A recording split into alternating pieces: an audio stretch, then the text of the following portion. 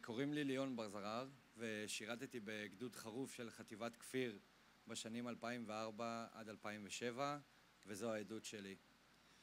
בשנת 2015 בשנת 2015 נקראתי למילואים והגעתי למילואים למספר ימים אזור העיר שכם לאחר כמה ימים במילואים עשינו פעילות שנקראת מיפוי נכנסנו, צעדנו לתוך הכפר חווארה ונכנסנו לתוך בית של משפחה פלסטינית באמצע הלילה.